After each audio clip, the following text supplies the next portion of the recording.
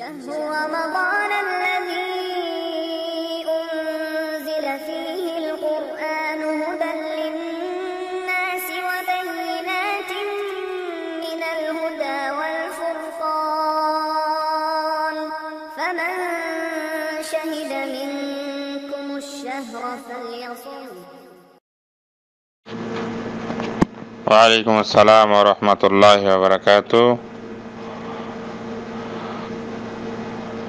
সকল প্রশংসা একমাত্র মহান রব্বুল আলমিনের জন্য, যিনি আমাদেরকে সৃষ্টি করেছেন। অসংখ্য দরুদ সালাম বর্ষিত হোক জনাবে মোহাম্মদ রসুল্লাহ সাল্লাহ আলিয়া সাল্লামের উপর।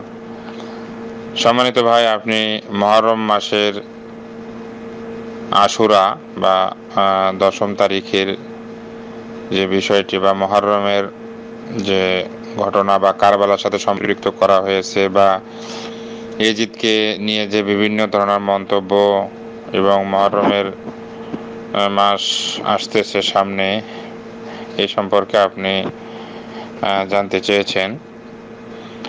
আসলে মহরম মাস, হিজরি মাসের প্রথম মাস।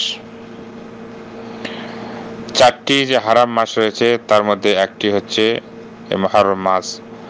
নবী মোহাম্মদ রসুল্লাহ সাল্লাহ সাল্লাম তিনি বলেছেন বছর হলো মানে এক বছর হচ্ছে বারোটি মাসের সমষ্টি, তার মধ্যে চারটি হচ্ছে অতি সম্মানিত। তিনটি মাস হচ্ছে ধারাবাহিকভাবে জেলকাজ, জেলহাজ এবং মহারম। আর চতুর্থ হলো রজব। তো এই মহরম কেন বলা হয়? আসলে অতি সম্মানিত বোঝানোর জন্য মহারমকে বা মহারম বলা হয়েছে, বা মহারম বা মানে অতি সম্মানিত। তো আসলে এর মূল যে মানে শরীয়তের বিধান সেটা হচ্ছে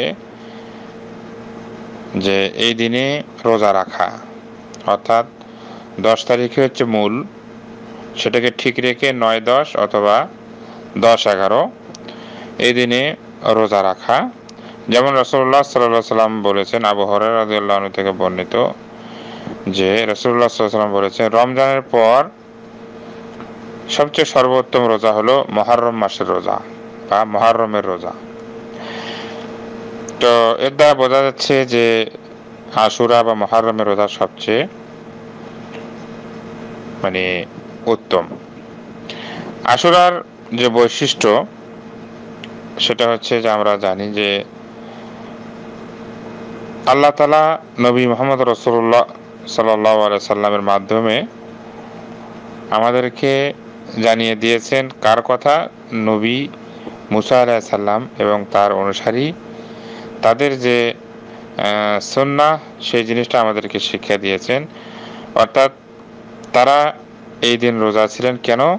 যে ফেরাউনের জুলুম থেকে তারা মুক্তি পেয়েছিল বা আল্লাহ তালা মুক্তি দিয়েছিলেন। এই জন্য তারা সুক্রিয়া হিসেবে এই দিন রোজা রাখতেন। সুতরাং এটা হচ্ছে মূল যে মুসা আলাহ সাল্লাম এবং তার বাহিনী ফেরাউনের যে অত্যাচার থেকে আল্লাহ নিষ্কৃতি দিয়েছিলেন, এই এর সুক্রিয়া হিসেবে তারা এটা রেখেছিলেন। তো আল্লাহ রসুল সাল্লাহ সাল্লাম তিনি যখন মক্কা থেকে মদিনায় চলে গেলেন, তখন দেখা গেল ইহুদিরা এই আশুরার দিনে রোজা পালন করে এটা দেখলেন। এরপর তাকে জিজ্ঞাসা করলেন, তখন তারা এই ঘটনাটা বলল যে মুসা আল্লাহ সাল্লামের সুন্না হিসেবে আমরা করি।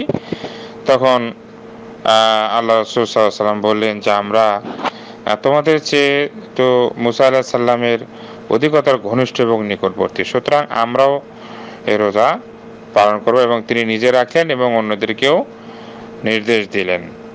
তবে যেটা বলা হয়েছে, তাদের মানে বিপরীত বা তাদের বিরোধিতা বা তাদের সাথে আমলে যাতে সাদৃশ্য না হয় এই জন্য আগে এবং পরে একটি করে রোজা এটা মিলিয়ে নেওয়া, এটা হচ্ছে শূন্য অর্থাৎ নয় এবং দশ অথবা দশ এগারো। সুতরাং এভাবে এটা হচ্ছে এটা হচ্ছে মূল মানে কাহিনী। কিন্তু এটার সাথে কি করল? মানে কারবালার যে কাহিনীটা একসাথে মেলানো হলো, যেই ঘটনাটা ঘটেছে, ঘটেছিল একষট্টি হিজড়িতে মানে আল্লাহ রাসুল সাল্লাহ সাল্লামের পঞ্চাশ বছর পর। আল্লাহ রাসুল সাল্লাহ সাল্লামের পঞ্চাশ বছর পর এই কারবালার যে ঘটনা, ইতিহাস বা এখানে যে হোসাইন রাজিয়াল্লাহ আনহুর যে শাহাদাত, এই যে ঘটনাটা এটা পঞ্চাশ বছর পর হয়েছে। তাহলে যেই সুন্নাটা আগে ছিল, নবী করিম সাল্লাম নিজে করেছেন সাহাবাহিকরাম করেছেন পঞ্চাশ বছর সোনালি যুগের পরে সবাই মিলে এই সুন্নাটা পালন করেছেন। কিন্তু দেখা যায় যে এতদিন পরে যে একটা কারবালার ঘটনা ঘটে গেল, সেটার সাথে দেখা যায় যে এটার একটা সম্পৃক্ত করে তারা কারবালার ইতিহাসকেই মূলত আশুরা হিসেবে মানে চালিয়ে দিতে শুরু করল। এখান থেকেই মানে যে বেদাত যে মানে বাড়াবাড়ি, মাতম বা এ ধরনের ঘটনা কিন্তু তখন থেকেই ঘটতে থাকে। তো সম্মানিত ভাই, আসলে হোয়াটসঅ্যাপে তো এত দীর্ঘ আলোচনা করা যায় না। এটা হচ্ছে মূল কাহিনী, কিন্তু এর সাথে দেখা যায় কারবালার প্রান্তরের যে ঘটনা, এটা অবশ্যই দুঃখজনক। এটা অবশ্যই কেউ কামনা করেনি। সেই যুগেও যে সমস্ত সাহাবাহিকরাম তারা বেঁচে ছিলেন। তারাও কিন্তু দুঃখ প্রকাশ করেছেন। বড় বড় সাহাবাহিকরাম কিন্তু তখন বেঁচে ছিলেন। যেমন আবদুল্লাহ বিন আব্বাস, আবদুল্লাহ বিন ওমর আবদুল্লাহ বিন আমর, এর আনাস, এরপরে জাবির বিন আবদুল্লাহ সাহাল বিন সাদ আর অসংখ্য সাহাবাহিকেরাম তারা কিন্তু বেঁচে ছিলেন, তারা কিন্তু দুঃখ প্রকাশ করেছিলেন, তারা কিন্তু এরকম মাতম করেননি। মাতম মিছিল এগুলো কিন্তু তারা করেননি। তারা দুঃখ প্রকাশ করেছেন এবং তাকে তাকে নিয়ে আরও অনেক ইতিহাস সেখানে রয়েছে যে তাকে যাওয়ার জন্য নিষেধও করেছিলেন সাহাবাহিকরাম যে আপনি যায় না গেলে ওখানে রক্তপাত ঘটবে। কিন্তু এটা ঘটবে, এটা আল্লাহর এলেমে আছে, এটা ঘটবে, যার ফলেই এই ধরনের ঘটনা ঘটে গেছে।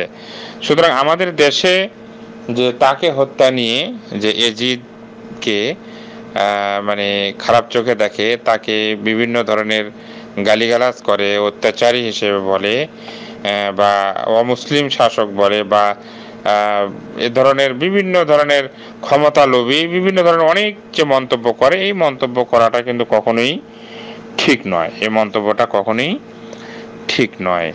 কেননা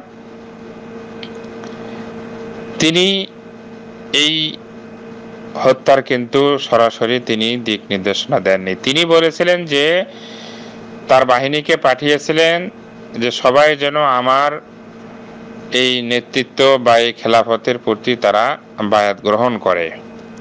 তিনি কিন্তু বায়াত গ্রহণ করতে অস্বীকার করেননি। তিনি বলছেন, ঠিক আছে, আমি যদি বায়াত গ্রহণ করি, তাহলে এজিদের কাছে যে ডাইরেক্ট যে করব। এই সুযোগটা তার বাহিনী দেয়নি। এই সুযোগটা তার বাহিনী দেয়নি। বলছেন, না, আমাদের, আমার কাছেই, আমাদের কাছেই বায়াত করতে হবে। অথবা এই হোসেন তিনি আরও বলেছিলেন যে, ঠিক আছে, আমাকে মক্কায় ফেরত যেতে দেওয়া হোক। আমি যেখান থেকে এসেছি সেখানে চলে যাই। সে সুযোগও দেওয়া হয়নি। অথবা বলেছেন যে আমি কোনো মানে নির্জনে চলে যাই।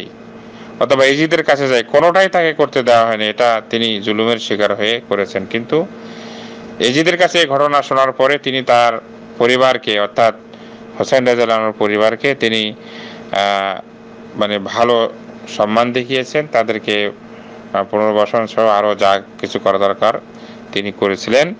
কিন্তু তাকে সরাসরি যে দোষ দেওয়া হচ্ছে, এটা কিন্তু কখনোই ঠিক নয়। তবে তিনি হয়তোবা এই হত্যার ডাইরেক্ট যে প্রতিশোধ, তিনি সেটা নেননি। এটা হয়তোবা তার ইস্তেহাত বা তার এখানে কোনো অবশ্যই হয়তোবা ভুল থাকতে পারে। কিন্তু সেই হিসেবে তাকে একজন মানে খুনি বা বিভিন্ন ধরনের অরুচিকর কথা, এরকম কথা বলার কোনো সুযোগ নেই।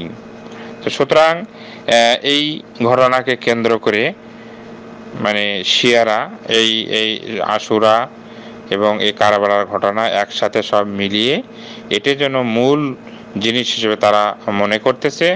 বাকি যে সুন্নতি, যে আমল রোজা রাখা এবং এর যে বিশেষ সোয়াব এই বিষয়টা কিন্তু মানুষ আজ ভুলে যাওয়ার পথে। এই দিনে দেখা যায় যে বাংলাদেশ সহ যে দেশগুলোতে চর্চা দেখা যায়, মাতম মিছিল হয়, এই মিছিল হয়, রক্ত পাত করে, এরপরে শরীর কাটে। এই যে জিনিসগুলো ঘটে, এগুলো সব হচ্ছে কুসংস্কার বেদাত থেকে এসেছে। আল্লাহ আমাদের এগুলো থেকে হেফাজত করব আসসালামু আলাইকুম রহমতুল্লাহ বরকাত